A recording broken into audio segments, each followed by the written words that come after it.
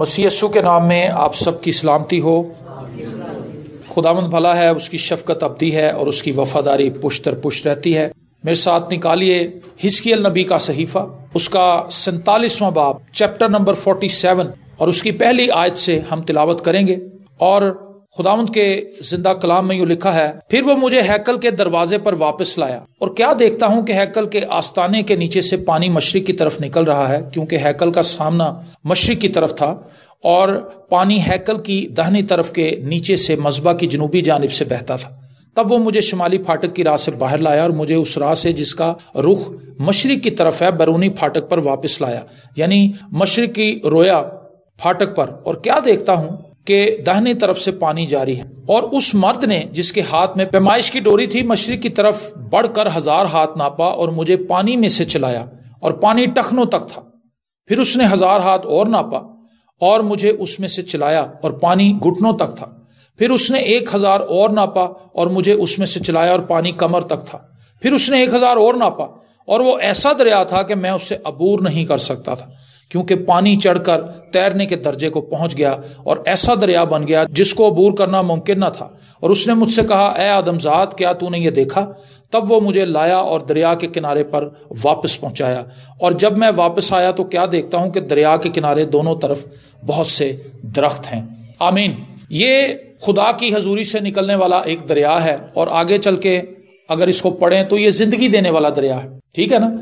लेकिन इसके अंदर जो बात मैं आपके साथ शेयर करना चाहता हूँ, वो है रूहानी ज़िंदगी में तरक्की करने के दर्जे। क्या है जी? रूहानी ज़िंदगी में तरक्की करने के दर्जे। दर्जा ब दर्जा खुदा हमें अपने भेद बताता है। दर्जा ब दर्जा खुदा हमें अपनी मामूरी अनायत करता है। पलूस कहता है रूस से मामूर होते जाओ। रूस से मामूर होते जाओ। इसका मतलब है, ये एक दिन का अमल नहीं ये एक मुसलसल जारी रहने वाला अमल है। हम हर रोज खुदा के पास आते हैं, खुदा हमें अपने रूह से भरना शुरू कर देता है। खुदा हमें अपने ज़ोर से भरना शुरू कर देता है। खुदा हमें अपनी कुदरत से भरना शुरू कर देता है। और लिखा है, वो कहता है कि जब मैं उस दरिया के पास था तो उस मर्द ने, जिसके हाथ में पैमाइश की डोरी थी, उसने एक हज़ार हाथ नापा और उसने मुझे चलाया कि चल भाई, आगे चल। जब मैं आगे गया तो पानी मेरे टखनों तक था, थोड़ा पानी था। और फिर उसके बाद उसने मुझे और चलाया आगे। और उसके बाद पानी मेरे घुटनों तक आ गया। फिर उसने मुझे और चलाया तो पानी मेरी कमर तक आ गया। और चौथी दफ़ा जब उसने एक हज़ार नाप के उसको आगे चलाया तो ज़मीन उसके पैरों के नीचे से निकल गई। और पानी जो था, वो इतना ऊपर हो गया कि अब तैरने की नौबत आ गई। और फिर मंजर बदल गया। मंजर ये बदला, पहले उसने दरिया की वसत को नहीं देखा था। जब वो किनारे पर था तो उसको लग रहा था कि ये दरिया बड़ा छोटा है। ये तो छोटा सा दरिया है। मैं इसको शायद बहुत जल्दी अबूर कर लूँगा। एक हज़ार चलने के बाद उस पानी का जो लेवल था उसके टखनों तक आया, फिर एक हज़ार चला, घुटनों तक आया, फिर एक हज़ार चला तो उसकी कमर तक आ गया। फिर जब एक हज़ार चला तो उसको ये अंदाज़ा हुआ कि ये ना खत्म होने वाला दरिया है, जिसको कोई अबूर ही नहीं कर सकता। खुदा की हजूरी में जब हम आते हैं तो हमें इस चीज़ का एहसास होता है कि खुदा की जात, वो जात है, जिसको हम अबदियत में जाकर भी समझने की कोशिश करते रहेंगे। खुदा बहुत बड़ा है। यसु मसीह के ताल्लुक से लिखा है, जब शागिर्द उसके साथ थे, हर रोज नए नए मौजे होते थे, हर रोज नए नए काम वो करके दिखाता था, हर रोज उन्हें हैरान कर देता था। कभी पानी पर चल के आ रहा है, कभी वो रोटियाँ खिला रहा है लोगों को, कभी कुबड़ी औरत को ठीक कर रहा है, कभी वो मुर्दों को ज़िंदा कर रहा है, और उन्हें इस चीज़ का वाज तौर पर यकीन था कि ये ज़िंदगी का मालिक है। और ये ज़िंदगी देने वाला है। तो खुदा की जो जात है, वो अनलिमिटेड है। और खुदा की जो हजूरी है, उसमें जब हम आते हैं तो हमें एहसास होता है कि जिस खुदा की हम प्रस्तिश करते हैं, वो छोटा खुदा नहीं वो बहुत बड़ा खुदा है। वो बहुत बड़ा खुदा है। और मैंने ये चीज़ देखी कि आमतौर पर लोग जब खुदामद में आते हैं, बपतिस्मा लेते हैं, अपनी ज़िंदगी खुदा को देते हैं, तोबा करते हैं और फिर वो खिदमत शुरू कर देते हैं। और उन्हें यह लगता है कि बड़ी जल्दी से हमें ऊपर आना चाहिए। वो मशहूर होने की कोशिश करते हैं। वो हर एक इकदाम उठाते हैं जिससे वो मशहूर हो जाए। मतलब वो बंदे को भी सही दुआ भी नहीं करनी आती। तो वो मोहल्ले के अंदर इश्तेहार लगवा देता अपने। अभी उसने दुआ करनी भी नहीं शुरू की होती, वो पहले शिफाइया इबारत अनाउंस कर देता। भाई, अभी तू खुद दुआ तो कर पहले। खुदा से रहनुमाई तो ले कि तूने किस तरह से खिदमत करनी है। लेकिन उसको ये नज़र आता है कि भाई, अगर मैं शिफाइया खिदमत का अनाउंस कर दूँगा कि मेरे पास शिफा की नेमत है तो मेरे पास लोगों का ढेर लग जाएगा। और लोग आके मेरे से दुआएँ कराने लगेंगे, फिर खुदा काम करेगा। वो ये समझता है कि फिर मैं मशहूर हो जाऊँगा। फिर दुनिया मेरे पीछे लग जाएगी। एडवर्टाइजमेंट से दुनिया आपके पीछे नहीं लगती। अगर खुदा का हाथ आप पर है, तब दुनिया आपके पीछे आती। तब लोग आपको सुनते हैं। तब लोग आपसे बरकत पाते हैं। अगर खुदा का हाथ हम पर नहीं, हम जितना मर्ज़ी अपने आप को एडवर्टाइज कर लें। हमारे सारे पैसे वेस्ट हो जाएँगे। जो अब सोशल मीडिया पे लगा रहे हैं, वो भी पैसे वेस्ट होंगे, वो टाइम भी वेस्ट होगा।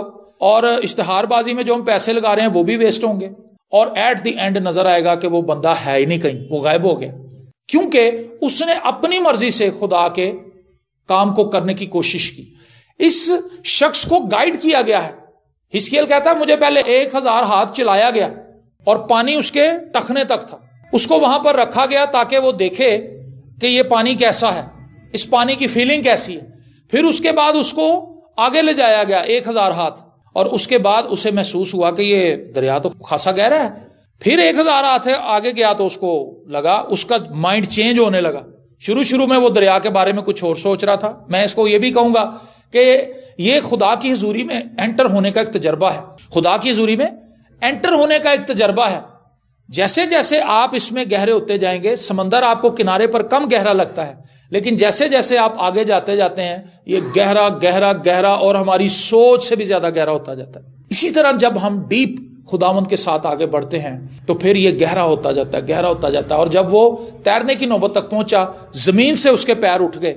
रूहानी तरक्की का एक सबसे बड़ा असूल आपको बताऊँ, जब तक हमारे पैर ज़मीन पर लगे हुए हैं, हमारा दिल ज़मीन के साथ लगा हुआ है, जमीनी ख्वाहिशों के साथ लगा हुआ है, उतनी देर तक हम रूहानी तरक्की नहीं कर सकते। हम खुदा की अनलिमिटेड ब्लेसिंग्स को ना तो देख सकते हैं, ना उनको रिसीव कर सकते हैं। जब तक हमारे पैर ज़मीन से नहीं उठते, हमारा दिल दुनियावी चीज़ों से दूर नहीं हट जाता, उतनी देर तक हम खुदा की ब्लेसिंग्स को देख ही नहीं सकते। आप इस बात को समझ रहे हैं? जब तक हमारे अंदर दौलत की ख्वाहिश है, जब तक हमारे अंदर रुतबे की ख्वाहिश है, जब तक हमारे अंदर मर्तबे की ख्वाहिश है, जब तक हमारे अंदर इन चीज़ों की ख्वाहिश है कि लोग हमें अच्छा समझें, लोग हमें अच्छा जाने, उतनी देर तक हम रूहानी बुलंदी को छू ही नहीं सकते। ज़रूरत इस बात की है कि हम अपने आप को इन चीज़ों से आज़ाद करें, खुदा से फजल मांगे। कि खुदावंद इन दुनियावी चीज़ों से, इन दुनियावी ख्वाहिशों से मुझे आज़ाद कर। और जैसे जैसे हम इन दुनियावी ख्वाहिशों से आज़ाद होंगे, हम रूहानी तौर पर अपलिफ्ट होना शुरू हो जाएँगे। हम बढ़ना तो चाहते हैं, दुआ तो हम करते हैं, लेकिन रूहानी तरक्की का एहसास हमें नहीं होता, क्योंकि हम दुनिया के साथ जुड़े हुए मैं ब्याह ते गई सा मैंने किसी ने सलाम ही नहीं किया मैं ब्याह ते गई सा मैंने को हंस के, मेरे ना मिले ही नहीं। ये क्या है? ये एक जिस्मानी ख्वाहिश है कि लोग मुझे अच्छा समझें, लोग मेरी इज़्ज़त करें, लोग मेरी रिस्पेक्ट करें। मेरे से मशवरा नहीं लिया गया। मुख्तलिफ़ चीज़ों में हम अपने आप को ऊपर लाने की कोशिश करते हैं, ख्वाहिश रखते हैं और फिर हम लोगों से गुत्थम गुत्था हो जाते हैं। दूसरी तरफ़ हम दुआ भी कर रहे होते हैं, कलाम पढ़ भी रहते हैं, कलाम सुन भी रहे हैं। लेकिन दूसरे हाथ हम दुनियावी चीज़ों को भी पकड़े हुए हैं। तो कैसे हम आगे बढ़ सकते बताएँ मुझे। कभी नहीं हम आगे बढ़ सकते, हम रुके रहेंगे वहाँ पर जब तक हमारे पैर ज़मीन से उठेंगे नहीं, जब तक हम दुनियावी चीज़ों से अपने आप को आज़ाद नहीं करते, दुनियावी ख्वाहिशों से अपने आप को आज़ाद नहीं करते जब तक हम आसमान की तरफ़ देखना नहीं शुरू करते और आसमानी चीज़ों पर अपना ध्यान नहीं लगाते, उतनी देर तक हम दुनिया को छोड़ नहीं सकते। कल भी हम ये बात यहाँ पर कर रहे थे कि जब हमें सिलेक्ट करना पड़ता है कि बेहतर चीज़ कौन सी है और कमतर चीज़ कौन सी है। मैंने कल ये मिसाल दी थी कि एक सोने का बिस्किट और एक मिट्टी का बिस्किट मैं यहाँ पे रख दूँ और मैं आपको ये मशवरा दूँ कि दोनों में से आप जो भी चीज़ उठाना चाहते हैं उठा लें। तो सारे तुम मेरे खाना सोने की डली ही चुकनी क्योंकि मिट्टी की क्या बुकत है? लेकिन रूहानी एतबार से हम बेवकूफ़ी का मुजाहरा कर जाते हैं, हम मिट्टी उठा के ले जाते हैं। ये एक बहुत बड़ा सवाल है आज ईमानदारों की ज़िंदगी में कि जी, पादी साहब, आपसे भी दुआ करवाई है मैं खुद भी दुआ करता हूँ, फैमिली प्रेयर भी करी दी है। लेकिन घर से लड़ाइयाँ नहीं जा रही, लड़ाइयाँ उथे दियाँ, उथे ही नहीं। बच्चे गल ही नहीं मानते मेरा शोहर मेरी बात ही नहीं समझता, मेरी बीवी मेरी बात नहीं समझती। मामला जो कि तू ही है, अपनी जगह पर ही खड़े इसका मतलब है कि कहीं ना कहीं तो गलती है। मुझे याद आया कि एक दफ़ा किसी शख्स की आँखों में जलन होने लगी। बहुत जलन रहती थी उसकी आँखों में। बाहर जाता था, उसकी आँखों में जलन, घर में आता था जलन। तंग आके वो आँखों के डॉक्टर के पास गया। उसने कहा, डॉक्टर साहब, मेरी बहुत प्रॉब्लम है। मैं जब कभी आँखें खोलता हूँ, सोता हूँ तो बस मुझे सुकून मिलता है। लेकिन जब मैं जाग रहा होता हूँ, मेरी आँखों में जलन ही जलन होती है, जलन ही जलन होती है। मैं परेशान हूँ। मेरा इलाज करें। उसने उसको देखा, चेक किया। उसने कहा, सर जी, आपको रंगों से एलर्जी है। बहुत से रंग आपको इरिटेट करते हैं। आपकी आँखों के अंदर जो एलर्जी है, वो परेशानी का सबब है। अच्छा उसने कहा, फिर मैं क्या करूँ? उसने कहा, आप किस रंग से आपको सहूलत मिलती है? उसने कहा, जी, मैं जब कभी हरी चीज़ को देखता हूँ, हरा कलर देखता हूँ, उसने कहा अच्छा आप ऐसा करें कि आप ना अपनी आँखों की सहूलत के लिए अपने घर के अंदर सारी चीज़ों को हरा कर दें। उन्हें हरा पेंट कराता, हरे पर्दे लाते, सब कुछ उन्हें हरा ही हरा करता। वो सुकून में आ गया और वो बाहर नहीं निकलता था। वो डरा रहता था। वो कहता था, मैं बाहर जाऊँगा, मेरी आँखों में फिर तकलीफ़ शुरू हो जाएगी। मैं अंदर ही रहूँगा। हरी चीज़ें, बस ठीक है, मैं देख। उस शख्स ने अपने आप को लिमिटेड कर लिया उस घर के अंदर। एक दोस्त उससे मिलने आया उसने कहा, भाई, ये क्या किया तूने अपने घर की हालत? टप भी हरा, सब कुछ हरा। उन्हें कहा, जी, मेरी अखा च प्रॉब्लम है। मेरा यह मसला है। उसने कहा, भाई, तू हरी एनक लगवा ले। काम ही मका सारा। हरे शीशे वाली एनक लगवा ले, जिधर जाएगा सब कुछ ही हरा नज़र आएगा। कहता मैं क्यों नहीं किया तो डॉक्टर ने मैंने मशवरा क्यों नहीं देते मैं अन्य पैसे लाते हैं ये हमारा मसला है। असल में तब्दीली की ज़रूरत हमें है। हमारे फैमिली के लोगों को बाद में है, पहले हमें। तो रूहानी तरक्की हमारी इसलिए नहीं हो पा रही कि हम ज़मीन के साथ जुड़े हैं, ज़मीन की ख्वाहिशों के साथ जुड़े हैं। दुनिया की ख्वाहिशें हमारी जान नहीं छोड़ रही। दूसरी तरफ़ हम खुदा को भी पकड़ना चाहते हैं। एक बंदे ने नीचे भी किसी चीज़ को पकड़ा हुआ है, ऊपर भी वो हाथ बधा रहा है, वो भी उन्होंने खुदा उन्होंने तेन खींच रहा स्थान उन्होंने पीछे खींच रहे। एट दी एंड ये होगा कि वो किसी तरफ़ भी नहीं जा पाएगा। वो फंसा रहेगा। गांव में एक बंदा वो कहता ਜਿਹੜੀ ਮੱਝ ਕਿਲੇ ਨਾ ਬੰਨੀ ਹੁੰਦੀ ਨਾ ਉਹ ਜਿੰਨਾ ਮਰਜ਼ੀ ਅੱਗੇ ਜਾਏ ਰਹਿੰਦੀ ਉੱਥੇ ਹੀ क्यों जी क्योंकि वो किले के साथ बंधी हुई है उसने जब आगे बढ़ना है तो अगे जा नहीं सकना पीछे किला बनया जिन्नी देर तक किला पुटना नहीं ਉਹਨੂੰ ਕੱਢਣਾ नहीं ਉਹਦੇ ਚੋਂ उतनी देर तक वो आगे बढ़ नहीं सकती जब तक उसको किले से आजाद ना किया जाए रस्सी खोली ना जाए वो आगे नहीं जाती छप्पड़ की तरफ नहाने के लिए नहर में चली जाती है नहाने के लिए फिर वो आजाद है हम बंधे हुए हैं दुनियावी ख्वाहिशों के साथ बंधे हुए हैं और जब तक हम दुनियावी ख्वाहिशों से आज़ाद नहीं होते, हम खुदा की कुदरत को एक्सपीरियंस नहीं कर सकते। खुदा चाहता है कि हम उसके वसीला से आज़ाद हों, हम खुदा की कुदरत के वसीला से आज़ाद हों और खुदा को मौका दें कि खुदा हमें ब्लेस करे। और आहिस्ता आहिस्ता ग्रेजुअली हम बढ़ते जाएँ और हिस्केल के साथ यही तजर्बा हुआ। और जब ज़मीन से उसके पैर उठे तो मंजर बदल गया। उसने देखा कि ये पानी तो हद निगाह है, ये पानी तो हद निगाह है, मैं इसको अबूर नहीं कर सकता। खुदा की मामूरी की कोई लिमिट नहीं।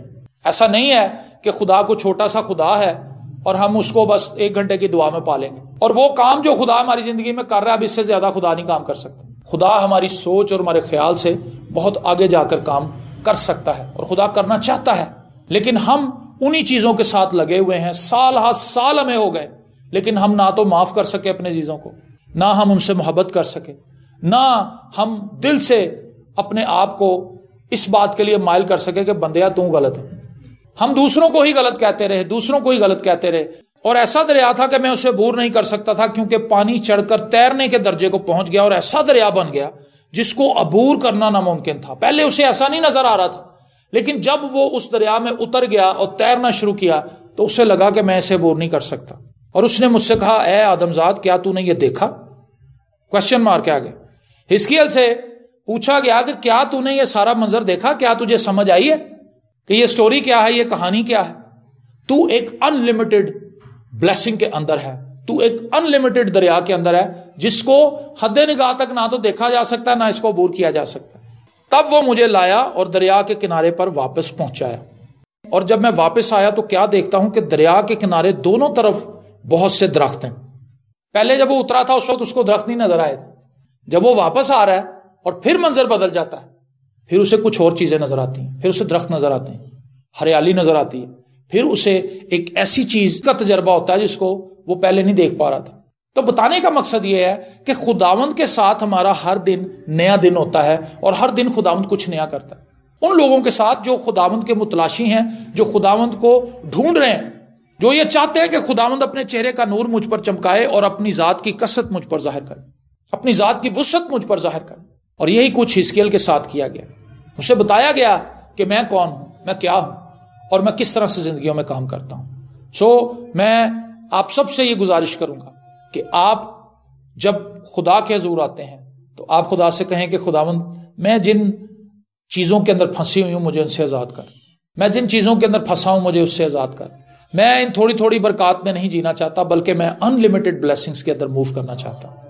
हाल मैं अनलिमिटेड ब्लेसिंग्स के अंदर मूव करना चाहती खुदामंद अपना हाथ मुझ पर बढ़ा। खुदामंद अपनी कुदरत मुझ पर ज़ाहिर कर।